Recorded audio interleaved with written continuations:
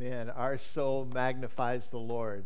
What a glorious thing He has done to take on flesh just like ours, to live as we live, to be tempted as we were tempted, yet be without sin, so that He might share sinlessness with us and clear us, totally wash us clean of all that we had done in sin. Grateful for His mighty works and His victory that is ours by faith in Him. Well, let's turn in our Bibles to Romans chapter 6 today. We're in the midst of 40 days of renewal. If you're new to Meadowbrook, you can jump right in. There's some information at the exits. Uh, today, you can just pick up one of the resource guides for 40 days and just connect with us as we're continuing to seek renewal in our lives renewal of spirit, renewal of body, and relationships, and a lot of different ways that we're renewing ourselves unto the Lord. And you can start. Maybe some of you had a little hiccup over the last few days. Maybe you didn't follow through with everything that you were intending to follow through. I would just say pick back up right now. You can just jump right back in. Uh, this one life group class last week, the word got to me that they were having some dialogue about uh, some of the, the things that they were trying to establish in their life, and some of that was a partial fast, what we're calling the Daniel fast uh, that we've done for a couple of years now. And, and one particular person said that, that she had failed in following the Daniel fast, so it's over with. And, and her life group encouraged her hey, if you dropped your phone and cracked your screen, would you throw your, your whole phone away? Now you keep on using your phone, even though it was a little bit broken. Uh, I would say that that's a good illustration for us. There are going to be some times that we're going to stumble and we're going to have some mishaps and we're going to say, oh man, I, I messed it up. I might as well just put it down. Oh, no, no, no. Just, just go right back into it and see how God will use it in your life and encourage you, build up some discipline in you, and move you to a greater sense of the presence of God in your life. Just encourage you, wherever you are in the midst of this, to jump back in. You're a little bit behind on your daily reading. Don't try to catch back up. Start with today's reading. And maybe if the Lord gives you some additional time and the heart to do it, you'll circle back and pick those up. If not, Hey, th- I hung up my tassels as a Pharisee a long time ago. All right? So we'll just live in the grace of God. We'll, we'll do it what He allows us to do in the way that He allows us to do it, and, and as we're learning discipline. All right, so uh, Romans chapter 6, I want to begin in verse 11 because this is a great passage for us to discover some ways that you and I might have victory over sin. So here they go. So you also must consider yourself dead to sin and alive to God in Christ Jesus. Let not sin therefore reign in your mortal body to make you obey its passions. Do not present your members to sin as instruments for unrighteousness, but present yourself to God as those who have been brought from death to life, and your members to God as instruments of or for righteousness. For sin will have no dominion over you, since you are not under law, but under grace. Is there anybody here today that would like to have less sin in your life? Anybody? Which ones, namely? Uh, just kidding. You don't have to tell me that. Uh, James does say, confess your sins to one another and you'll be healed. Uh, but we won't do that this morning necessarily as a, as a public way of responding. Hey, there's some things in my life that I really believe that God wants me to put down. Some things in my flesh that just doesn't want me to participate with, some ideas, some attitudes, some words, some actions that I just want to forego. In fact, I'll tell you, when I was in my later 40s, moving towards 50, I thought, Lord, I do not want to carry these things into the latter century of my life. I'm still carrying some of those, but that's the reason why we have 40 days of renewal to, to come back to those places where we're surrendering the things of the flesh to the things of the Holy Spirit. That's what, what the renewal period is about for many of us. So I've determined those things and those things that I really want to see God help me to have transformation in, those, those things that I want freedom from.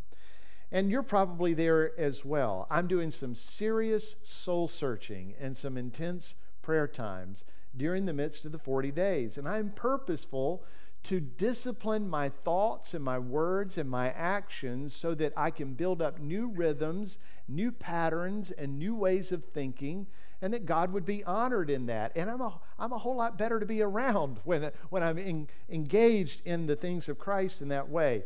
So hopefully you and your family have joined us in 40 days. If not, you can jump right in and get stirred up in the midst, midst of it all. And if you faltered, I'd say just circle back around and see where God wants you to pick up where you left off. There's not a single person here today that does not struggle with sin. Every one of us struggles with sin.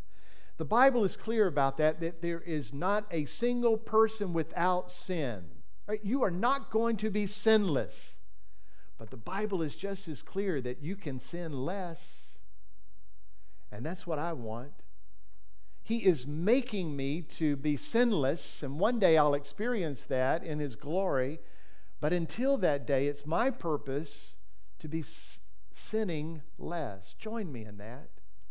Join me because as we get engaged in this life of righteousness with Him, there is greater joy, there's greater blessings, there's just a greater hope.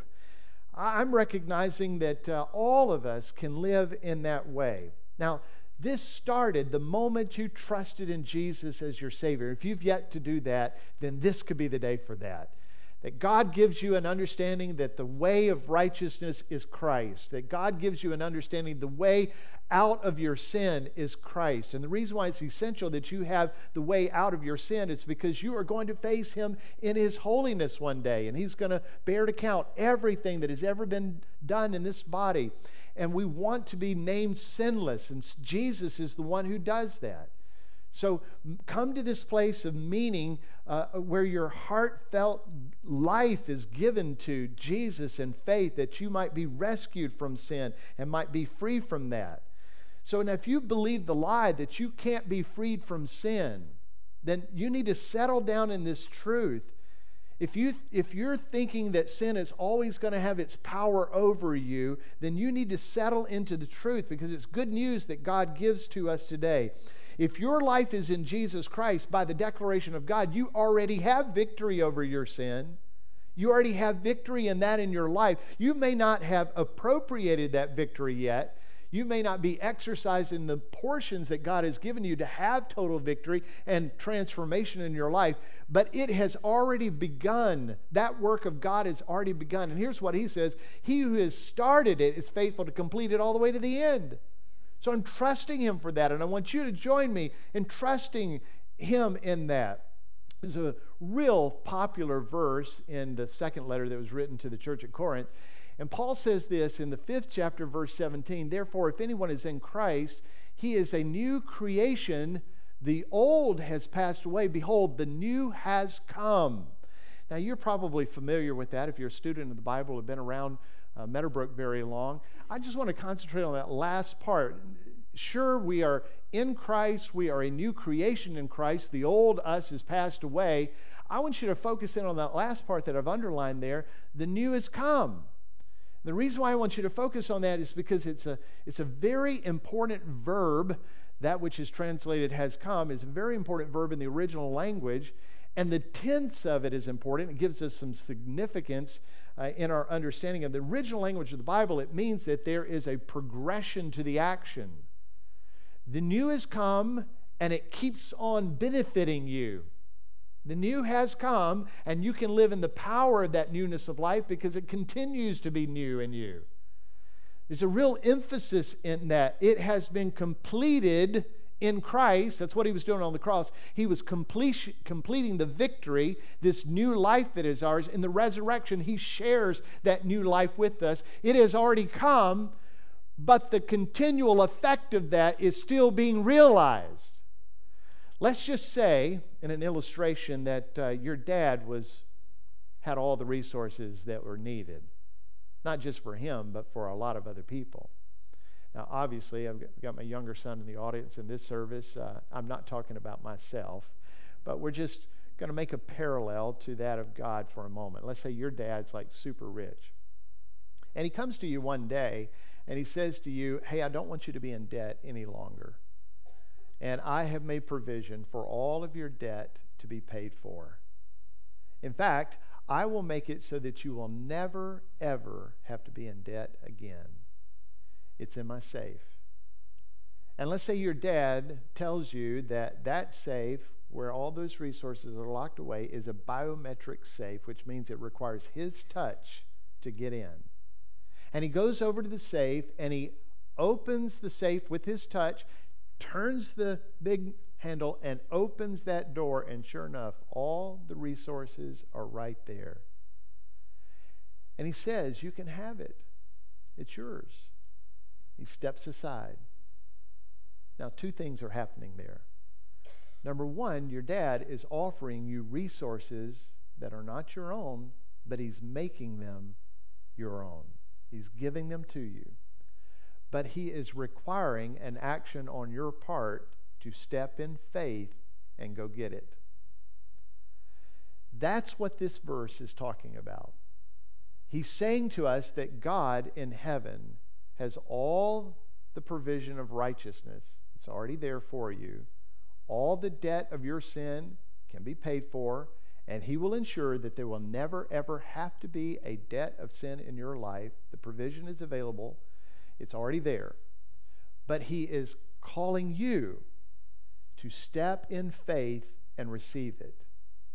He's not going to press it upon you. He's not going to go deposit it in your account without your agreement. He's making the provision and he says to you, Come and get it. Come in faith and receive it. Come in faith and receive it unto your life and live your life out in that. So when he says, we are new creations in Christ, the old has passed away, the new has come, it's as if he has opened the door of salvation and righteousness and forgiveness of sin, and he says, Come, receive it in faith. See, he works within his provision and your free will.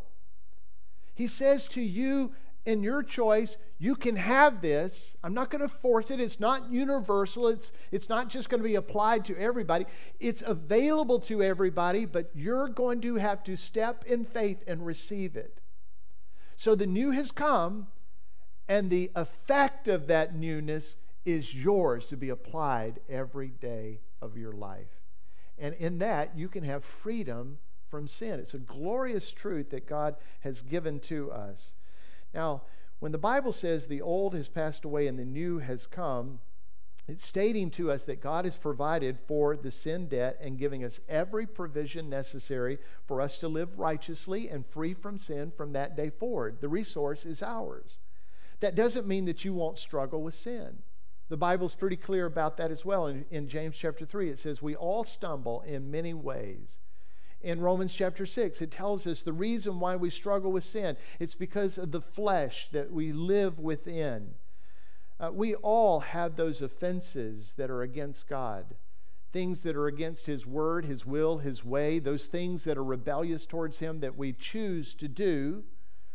Everybody has that in your life. And there are those things that you may not even choose to do, but because God is so holy and we are not, there are some things that we just don't do that are sin as well. Every one of us deal with that because we have this flesh. And at, at, times we even take those sins and the rebelliousness that we have and we do them repetitively, we do them habitually. And those sins are very difficult to walk away from. If it were not for the victory that is ours in Christ and the provision of God to apply His grace in our life to overcome those things, it wouldn't happen. Those besetting sins are very, very uh, difficult to walk away from. So we're grateful that God gives us the power to do that. So let's talk about that provision and what God has given to us. Clearly, He has opened the door for us in His love and His grace to provide provision for this. And he, he gives us that opportunity. Romans 6 reveals that. So I want to walk you through some of those points out of Romans 6, uh, beginning in verse 11 there. Thinking about God's provision and our freedom over sin. Go back to verse 11. He says, So you must also consider yourselves dead to sin and alive to God in Christ. Now, just pause with me for a moment on this idea of consider for yourself. He's saying, make a mental note there. Now, that phrase is actually one word in the Bible in its original form, and it's a very important word. It's one that is really essential for Romans. As you understand the book of Romans, this word is important to know. It's the same word where we talk about the imputed sin or imputed righteousness. It's the same word. It would be like me saying, uh, I'm going to deposit something into your account. Or it might be a deposit, or it might be, I'm going to debit your account. It's something that's, that's put there. So it's the same word for consider. Take a mental note about this. And I think the, the essence of this, in the context of the whole book, is this. If you're going to have victory over sin, you're going to have to give considerable thought to this imputing, this putting of sin upon Jesus on the cross and Him dying with it, and Jesus putting his righteousness into your account and you living with it. He's saying you're going to have to give that great consideration. A mental note must be made at all the times of our living if we're going to have victory over sin. I think that's a great point for us because the enemy will tell you that you're not going to be able to overcome this. The enemy will tell you that's just the way you are. The enemy will say you cannot have victory over this. But you and I are settling into this truth that the victory is ours. I need to concentrate on that and meditate on that and bring it back up regularly. It's a big deal when we say this that we're dead in, in sin and alive in Christ. That's what he wants us to contemplate. To just think about I'm dead to sin and alive to Christ. In fact, by the end of your time with me today, before the noon hour, I want that to resonate in us that we are dead to sin and alive to Christ. I'm dead to sin and alive to Christ. Say it out loud. I'm dead to sin and alive. Say it again. Yet when God says consider that, He wants that to go deep. He wants you to think of that regularly. Because when the temptation comes, he wants that to stir out of you, but I'm dead to sin and alive to Christ. When you're walking as a saint, He wants it stirred in you, not in arrogance, not in piety, but I'm dead to sin and alive to Christ. He wants that to resonate in us, and in that, it's the beginning. It's like the laying the foundation for our victory over sin. When we recognize we're new in Christ, we're a new creation in Christ, the effect of that is continual. And this settled truth is, is in me that I'm dead to sin and alive to Christ. So when God sees our faith in Christ Jesus, and here's what he does. He takes the sin of our life and he puts it on his son, and his son dies with it and he puts the righteous way of the living of the Son and he puts it upon us and declares it over us. So when, when we say, I'm dead to sin and alive to Christ, that's what we're communicating. We're communicating that Christ took our sin upon himself and he gave to us his righteous way of living. So I'm dead to sin and alive to Christ. The same power that resurrected Jesus Christ from the grave has been given to us to have victory over sin. Listen, the power that took the grip of death off of Jesus and resurrected him is the power that takes sin's grip off of us and releases us to live righteously. Glory be to God that. This isn't about me and you cleaning up our life and sort of getting it better from this point forward, but it's settling into the truth that the victory of the resurrection has been treasured to me and that I am now dead to sin Christ Jesus shared the death with me on the cross, and I'm alive to Christ, having shared the resurrection with him. And I do not have to live like I used to live. I'm a new creation. That's the truth that we ought to let settle in every idea and every faculty of our brain. So when you rise in the morning, and when you lie down, and every moment in between, it ought to be just constantly resonating in us that we're dead to sin and alive to Christ. And when you're living as a sinner or living as a saint, you repeat, I'm dead to sin and I'm alive to Christ. Some might argue, Randy, the sin is too fixed in my life. It is too set. It is unchangeable. I cannot break the patterns. Listen, if I believed that that were true, I would close this book. I would call Jesus a farce and I'd close the doors of this church because we're wasting our time. But I want you to know that that is not true, that you can be changed by the power of Jesus Christ. And I know it's true because I stand before you as a man who is dead to sin and alive to Christ. I stand before you as a man who has been resurrected unto righteousness with power. As I look out to you, I see people who have been transformed as well. Some of you radically. Some of you were once selfish and are now selfless. Some of you were greedy and now you're amazingly generous. Some of you were steeped in sin and now you have aroma of righteousness. How wondrous is God's great truth to us. Some of you are lust filled men and women, but now are joyfully pure and right before God and others. I've witnessed the lives of many people who have been transformed by the power of Jesus Christ, and I'm witnessing the transformation. Listen, some of you are just beginning in your movement of faith. You may have been coming to church for a long time, but some of you are just beginning in a movement of faith to understand the power that is available to you in Jesus Christ manifest there on the cross and through the resurrection and now given to you. Some of you are just now beginning to experience what it's like to be alive to God with the Spirit of God settled into you, living in you, and you coming to a daily conclusion that I my body doesn't belong to me, I belong to Christ. The temple of God is now my body. Some of you are just now getting that. And I say, go for it. Go all the way and see the glory that God will give to you. So let's consider this this morning by choosing three ways to respond to this passage. You'll notice in the handout that the, uh, the passage is there in some these three points that I'm making. Let me just review the verses 12 and 13 where we'll settle in for the next 10 minutes or so. He says, Let not sin therefore reign. It could be a word rule, have authority over. Let not sin therefore rule over your mortal body to make you obey its passions. Do not present your members to sin as instruments for unrighteousness, but present yourself to God as those who have been brought from death to life, and your members to God as instruments for righteousness. Now, the Bible is one to deal with our sin. First, when we sin, the Bible deals with okay, what do you do now? Grateful that God says in First John that if we confess our sin, God is faithful and God is just and He'll cleanse us from unrighteousness. So that's what we do when we find sin in our life. But how do, how do we keep sin from engaging us? How do, how do we keep that from occurring in our lives? Well, the Bible helps us to discover that as well. And that's what this passage is doing.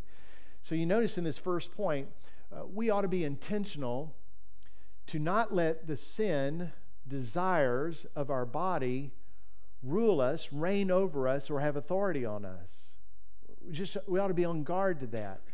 That sin, which dwells within our flesh, wants to rule over us. And, and here's what he's saying uh, in this idea of reigning. Don't let your body, with its sinful impulses, its cravings, and its desires, don't let your body rule over you in that way. I wish I could tell you that I was sinless. I'm not yet. One day I will be. And if your faith is in Jesus Christ, one day you will be as well. Now, let me just frame that for you. One day, this old ticker is going to stop ticking. And you, I hope it's only a few of you left, are going to put me in the ground. I hope I last a long time. The Lord gives me many years to serve Him.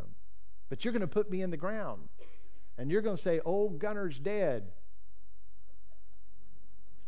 I hope you say he was really old. Gunner is dead. oh, Gunner's dead. No, no, no. Oh, Gunner's alive. Because I'm alive in Christ. Okay, this body is like a tent, it's just a temporary dwelling place for my spirit. But when this ticker stops, I will become absent from this body and I will be present with my Lord. You'll put my body in the ground and you'll cover it up, and it will go right back to, to dust. But one day, in the perfect time of the Father, Jesus is going to call that body forth. And when he calls it forth, it won't be dirt, it will be made glorious. And when I see him, I will have his glory as he has glory. And in that body, there will not even be a hint of sin. There will not even be a longing for sin. It will be completely a righteous and holy body. That day is coming. But it's not yet. So I still live with the body that I was born in, a body that was born in sin, and I will die with a body still steeped in sin. I was born in sin, I'm going to die in sin. But I will be resurrected incorruptible. That's the, that's the beauty of the scriptures. 1 Corinthians 15 says that that's exactly what's going to happen for those who are in faith. So, but until that time, my body craves sin. My, my body has a desire to be opposed to the things of God. And here's what God says Randy, do not let your body, sin, rule over you. Don't let something that is temporary, like your body, rule over something that is eternal, like your spirit. Don't do that. That wouldn't be very smart. So I have to make a determination not to let my body or the sin of my body to rule over me. And so he's challenging us in that. So one of the things that Kay and I uh, have embraced with 40 days of renewal is a disciplining of our bodies. It's really what the Daniel fast is all about for us. It's an engaging discipline of our body. Can I just tell you, the cravings are real. How about you? You experiencing that? When you tell your body you are going to be restricted. Your body wants to bring up every reason why you ought to have that. Have you noticed that? That's the way sin is. All right, the body hates restriction and discipline, the spirit loves it. So I want during this time for Kay and me to make choices individually and collectively as a couple ways that discipline our body. So we said, okay, we're not going to participate in this. It's, it's not only unhealthy for us, but we want to force our body to be disciplined by our spirit. We do not want to have the body to win over always who we are, that we have to be given to cra- cravings and given to desires. I, I want that to be part of it we're not watching television right now. And sure, there are many times that I'm thinking, wonder what's on right now.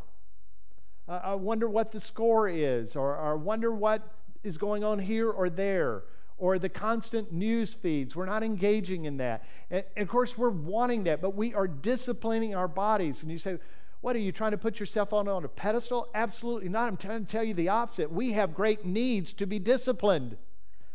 Our body wants to take over. Our body wants to rule our spirit. But God has given us a new life in spirit, and He says, let the new life of the spirit rule over your body. And you're going to have to be very persistent about that and engage in that. I would encourage you to apply that in some way. So you may not want to follow the Daniel fast apply discipline in your life. You don't like to make up the bed, get up and make up the bed because your body needs to be ruled by your spirit, not your spirit over your body. There, there's an akin of physical discipline to spiritual disciplines. You can't deny that. It, they go together. So I would encourage us to force our bodies to do what our spirit believes is the inclinations of God and, and exercise in that way. We're very sensitive during this time. And the, the purpose of that is not just that we, we would be disciplined, but listen, we want our household to be more joy filled. We want our lives to be lives of peace. And we find that when our body is subjected to the Spirit, who is ruled by the Holy Spirit, that we live with more joy and peace. We have greater power in prayer when we are engaged at this level we have more of a heart of worship when we're engaged in this way. And so this is a good practice for us, and it's one that ought to be throughout our days of the year, that we would not let our body of sin rule over us. Secondly, is this be determined not to use any part of your body for the purpose of sin. And I've given some, some expressions of that. Don't use any part of your body, like your eyes, your ears, your mouth, your tongue, your hands, your feet, or any part that's clothed. Don't use that for the purpose of sin. He says it in verse 13, the beginning don't present your members to sin as instruments for unrighteousness. So, you, know, it's, it's not just that don't do it because it's not right, but don't do it because it develops a pattern in you. Have you ever noticed that, um, let's say you have uh, some frustration that's built up in you or uh, some, some required uh, bodily sense to express something that's negative? Uh, let's say you want to vent that frustration and it comes out with a rant, or you want to vent that frustration, it comes out as cussing or gossip backbiting or whatever it is. What the Bible is saying here is don't use your mouth to sin.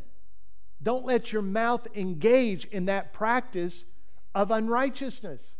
And it's not just the moment of the sin, but the more you vent and the more you cuss and the more you gossip, the more your heart is going to be affected by that. Now, listen, it doesn't wound your mouth for you to be cussing. It doesn't wound your mouth for you to be gossiping. It doesn't wound your mouth for you to vent out a whole bunch of, of frustration, but it wounds your heart. And he says, don't use the instrument of your body in that way. Or some of you have a real uh, besetted sin, viewing pornography. He would say, Don't use your eyes as instruments of unrighteousness because your eyes really are not affected by watching pornography. Your eyes are affecting your heart. So he says, don't use your body as an instrument for unrighteousness in that way. It's not just the sin in of itself, but it's the perpetuation of that sin. It's a continuation of it. So the more you see, the more you're going to engage your heart in that. The more you vent, the more your heart's going to be engaged in that. The more you do those things with your hands, the more your heart's going to be engaged in that. Stop using your body in, as instruments for unrighteousness. It just begets more unrighteousness. So we have two intentionalities. And the first one is, is that we are determined to not let our body of sin to rule over us. And the second is we're determined not to use any part of our body for the unrighteousness.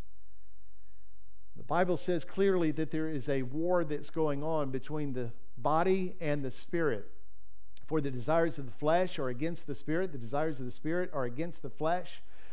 For these are opposed to one another. That means that these are at war with each other to keep you from doing the things that you want to do. So the body is in opposition to the Spirit's work within you. Make the body uh, subjected to your Spirit and the Holy Spirit. Then, number three, be purposeful to give yourself to God and use your body as an instrument for righteousness, for His glory. So it's not just don't do this, but it's do this. Um, and I think that's an, an interesting play there. Present yourselves to God as those who have been brought from death to life, and your members to God as instruments of righteousness. Uh, if you looked at the totality of that verse in verse 13, you'll see that there's two times that God is mentioning the word present here. And that always catches my attention where there's a repetitiveness to a verse. And I usually circle those words and ask the Holy Spirit to give me understanding to why he's saying something twice. And in this case, it's really unique because there's a shift in the tenses of the verbs. So you have the same word, but the verb usage of it is different. The first part implies that continual action that I mentioned earlier. It's in the present tense, which means the action continues. So it's the, the idea of don't keep using your body parts for sin don't keep doing that regularly. Don't allow the habit to be built up. And if the habit is built up, force yourself by the power of Jesus Christ to stop that. Put, put the pause in it. Hey, did you know that in every temptation, even if the temptation is regular in your life and the sin is habitual in your life, did you know that in every temptation, God steps in and gives you a way of escape? Did you know that? If you'll just slow it down enough, you'll be more sensitive to the escape that God has given to you. So here's the tense change. The first one is a continual action. Just don't, don't allow your body to be used in this way for sin. And the second present is present your body parts as an instrument of righteousness. That is a point in time. That's the verb tense is different there. It's an aorist tense, which means it's a point when you do that. So here's what I'm saying to us today by the authority of the God's word here. It's as if God is saying it directly to us. Recognize that you are dead to sin and alive to God in Christ. Let that constantly be on the forefront of your thinking. Make a determination to not allow sin to rule over you not to use the parts of your body and continue to use the parts of your body for sin in unrighteous ways against God. But make the determination right now that for the rest of your days, your body parts are going to be used as instruments of righteousness for the glory of God. See how that goes? You can't do anything about yesterday. I wish you could change yesterday. Shoot, there's some stuff about my life yesterday I wish I could change. I can't change yesterday. But today, I can determine that my body will be an instrument of righteousness. My mouth will, my eyes will, my hands, my feet, my ears, every part of my body can be a tool of righteousness in the master's hands. And when you place your body in the hands of the master, amazing things happen. Glorious things happen that impact all of eternity, not just for people around you, but for you too that God will be glorified and He will allow that glory to be blessed throughout the days of eternity because you made a determination today that this is what I'm deciding that my hands made by God are going to be used for His instruments of righteousness, that my ears are going to hear that which is of righteousness, that my eyes will not see that which is unrighteousness. I will not allow my body to rule over me in that way, but instead I choose to see what is holy and right and pure. And even when I'm seeing what is sinful, people around me. Help me to see God through eyes of righteousness that I might know what's going on in the heart of that person, that I might know what's going on in the heart of Jesus to change that person. God, use my parts of my body for glory, for good. Are you with me there? I pray that that would happen. So here's the Lord. He's touched and opened the resources through his son Jesus. And He's offering it to every one of us to have victory over sin. And He says, exercise your free will, stepping in faith, and take the resource. Take it. Stop trying to do this on your own as if religion is going to help you. Come to my Son and take the resources. He'll forgive you of your sin debt, and He'll make it so that you would never, ever have to be in debt again. It's a little prayer that I came across this week, so simple that it was profound. And I jotted it down. It's on the screens. God, here I am, alive from the dead. I've died with Christ and I've been resurrected with Christ. Praise your name. Now, here's my body my arms, my voice, my eyes, every part.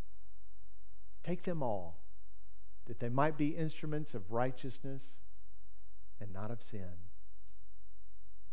I like that. So much so that I prayed that. And I would encourage you to do the same thing. Would you bow your head with me? Just in closing your eyes, we'll just have a moment of prayer, believing that it's God's desire for each of us to be set free from sin. Certainly, He has guaranteed that those who are in faith in Him will be sinless in heaven one day, but God says that He's given us the measure by which we can sin less today. He places His Holy Spirit in us and empowers us with self discipline. That's part of the fruit of the Spirit, self control. And now He has made the provision for our sin debt to be paid and made the provision available to us that we would never be indebted again. So if your prayer, the prayer of your heart, is that which I have already read to you, then I want to ask you to pray it along with me. I'll say a phrase, and if it is inclined in your heart to pray that phrase, then you just pray it. I pray often just aloud.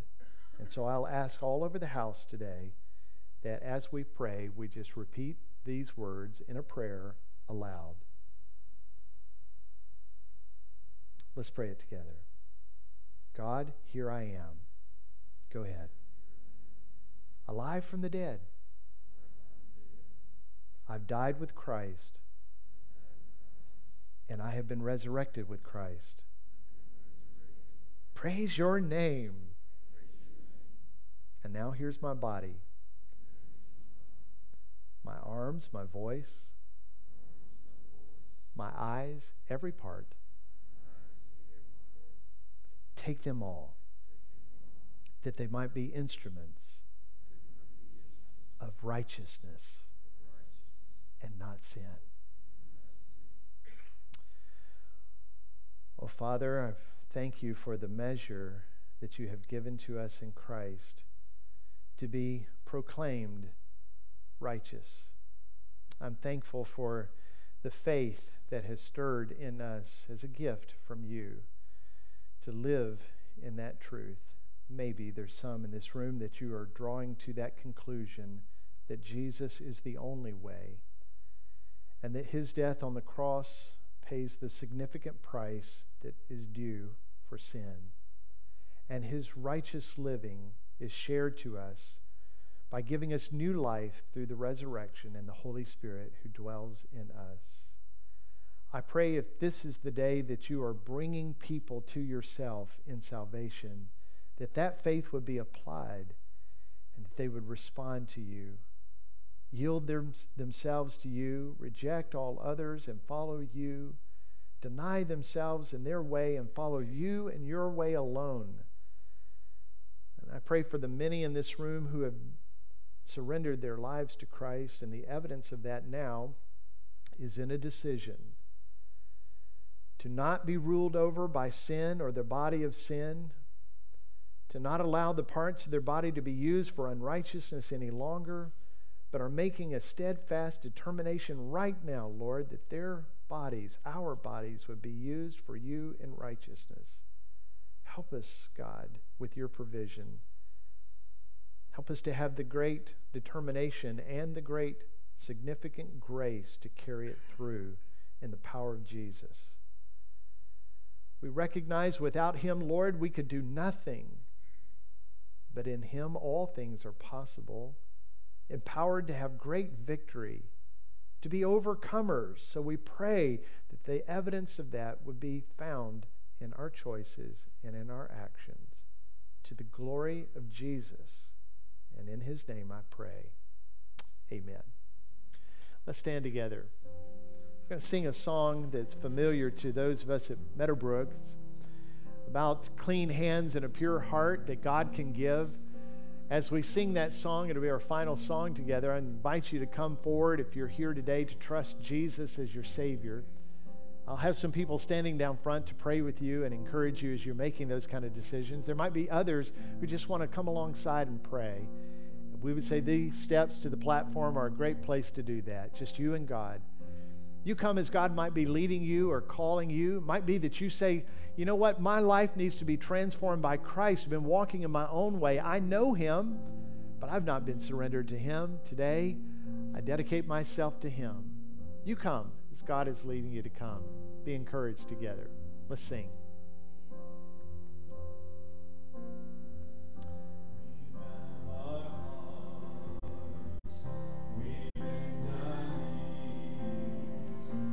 Spirit, come make us humble. We turn our eyes not to be used for unrighteousness. From evil things. Oh Lord, we cast down our idols. Give us clean hands. Give us pure hearts. Let us not lift our souls to another. Give us clean hands.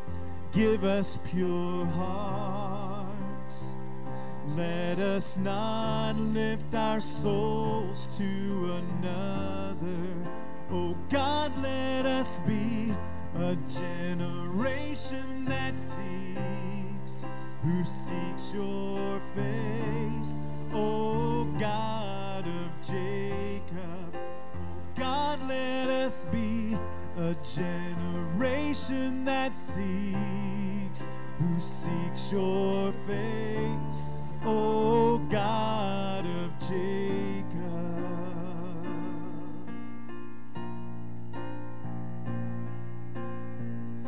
We bow our hearts,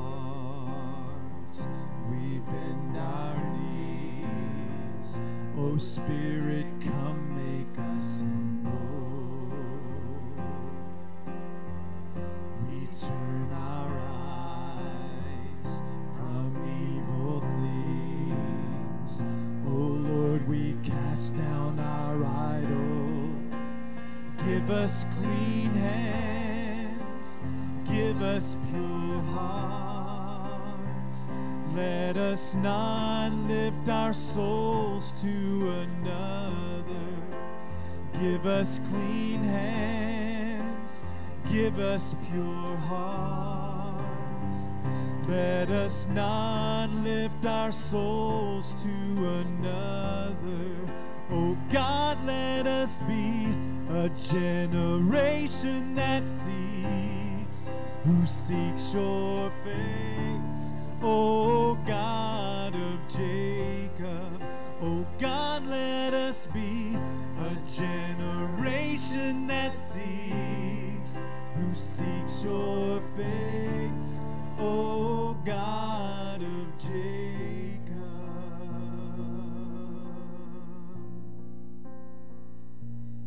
Anybody ever prayed the prayer, Oh God, I just blew it? Prayed that many times. And the Lord answers that prayer. He responds with grace, love, faith,